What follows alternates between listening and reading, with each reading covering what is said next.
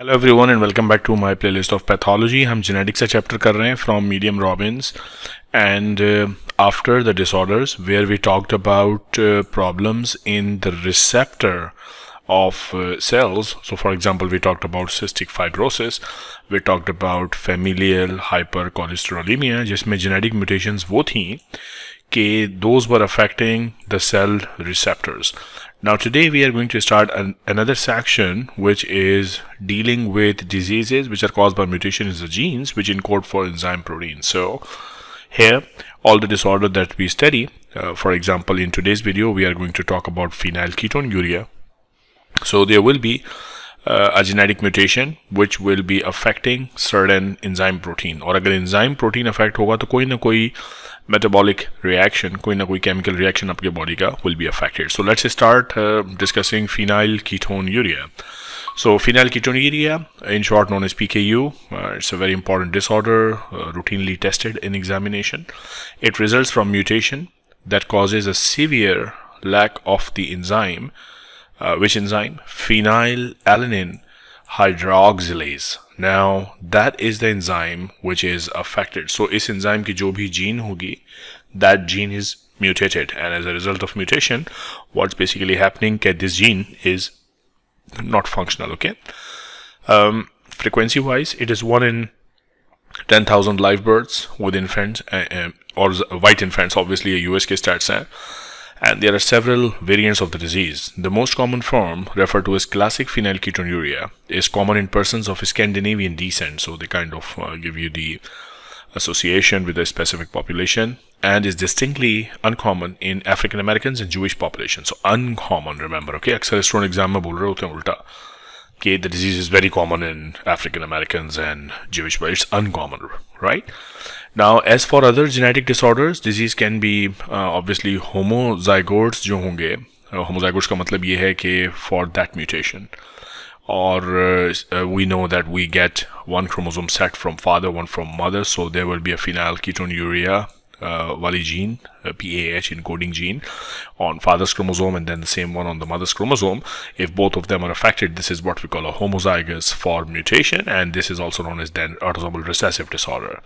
Um, there is a severe lack of phenylalanine. Obviously there will be because uh, phenylalanine hydroxylase because both the genes which would have coded for this enzyme they are both missing right now, affected infants are normal at birth, but within a few weeks exhibit rising plasma phenylalanine because this cannot be metabolized because the enzyme which is responsible for metabolism of this particular amino acid, uh, i.e. phenylalanine hydroxylase, is missing. Okay. So what happens with the increasing level of phenylalanine? There is impairment of the brain development. You know the brain development continues after birth. Usually by six months of life, severe mental retardation is noticed uh, and it become very very evident.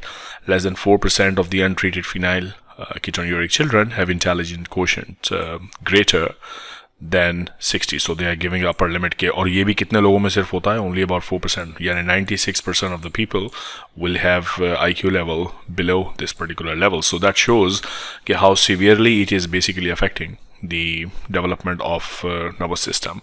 About a third of these children are never able to walk. Two-third cannot talk even. So that i mean look at the severity of symptoms. A baby severely compromised because increased levels of phenylalanine are there right? Seizures other neurological uh, abnormalities decreased pigmentation of the hair skin eczema.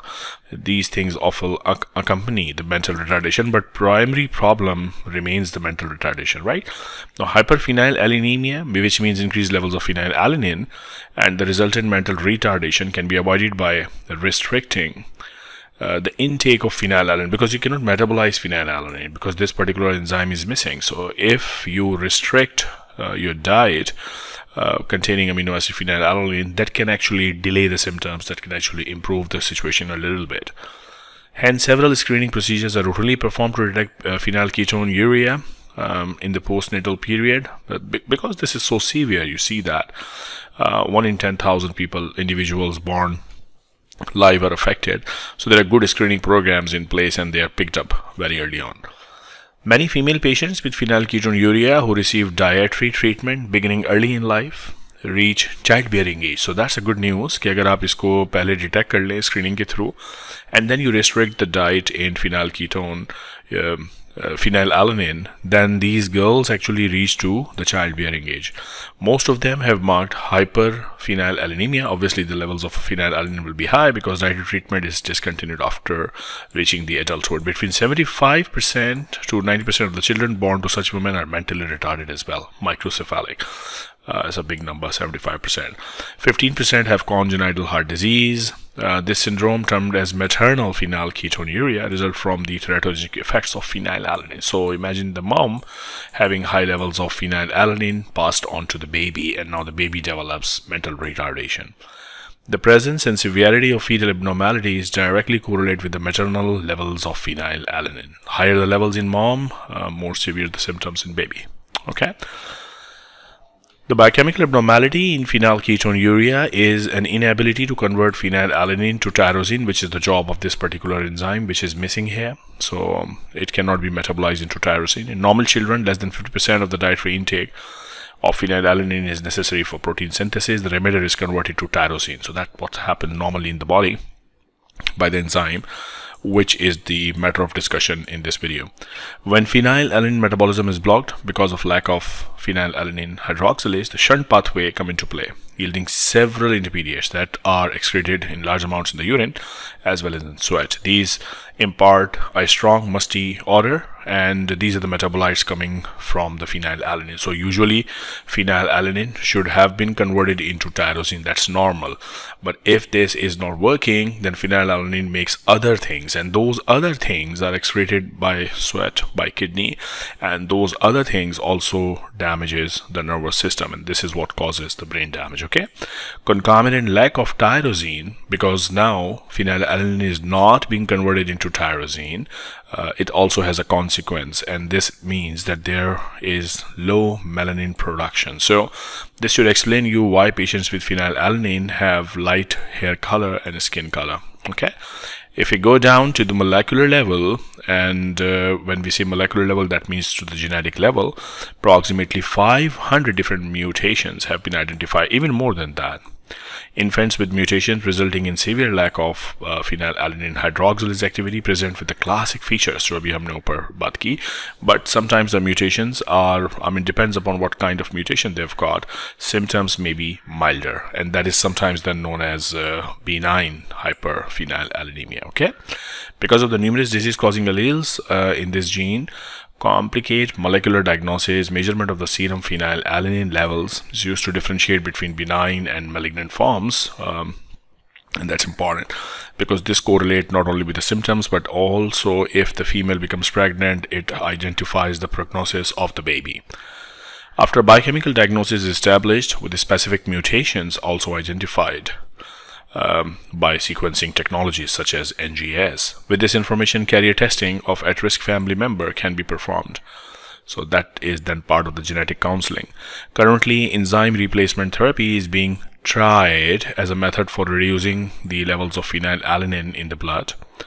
The replacement enzyme known as phenylalanine uh, lyase converts excess phenylalanine to ammonia and other non-toxic metabolites. So this is being tried as an alternative to phenylalanine uh, hydroxylase, which is deficient in this disease, right? Although 98% of cases of hyperphenylalaninemia are attributable to the mutations associated with the phenylalanine hydroxylase, there is approximately 2% um, arise from abnormalities in the synthesis or recycling of the cofactor tetrahydro. So that is um, another pathway which should be um, kept in mind when you are studying phenylalanine. But that's a very, very rare scenario. Most of the time, this is because of phenylalanine mutation. But since everyone knows about it, examiners sometimes go after it and they're interested in knowing the um, the remainder of the 2% which is associated with um, the synthesis yeah recycling of cofactor which is tetrahydrobiopterin Clinical recognition of these variants forms important because these patients cannot be treated by dietary restrictions. So if this pathway is activated, then these patients cannot be uh, affected by phenylalanine restriction because that is not even the problem.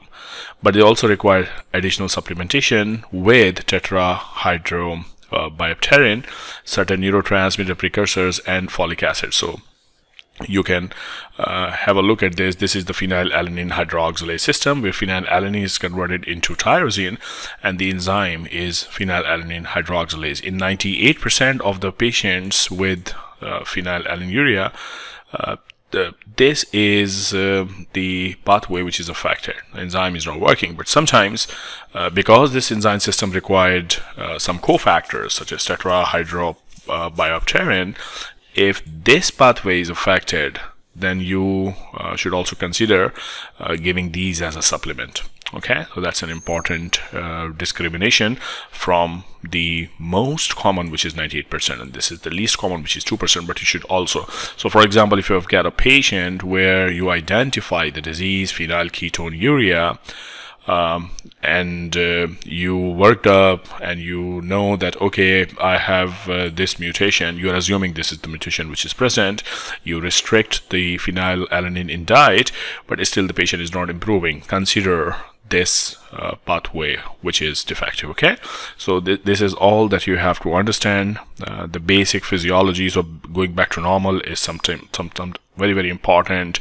And you have to whenever you are studying pathology consider what is normal then what happens if something goes abnormal okay? So all the very best. I'll see you in another video very very soon. Take care of yourself